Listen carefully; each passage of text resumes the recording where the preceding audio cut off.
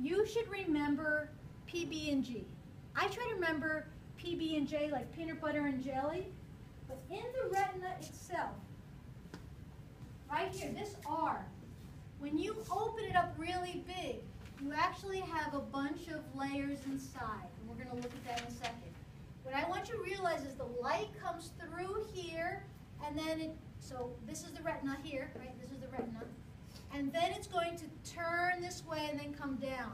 So it's going to come here, and then it's going to stop here, where the rods and cones are, known as photoreceptors. And now the electrical impulse is going to go this way. P, B, that's for bipolar neurons. It's going to continue going this way to G, the ganglionic cells. So I don't remember, so think of it peanut butter and jelly, but I can't, I don't know how to spell jelly. Think of it that way. So P, B, and G, that's all the retina.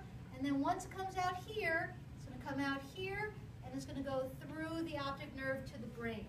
So when you look over here, the light comes through here, and once it gets here to the retina, this is what the retina looks like.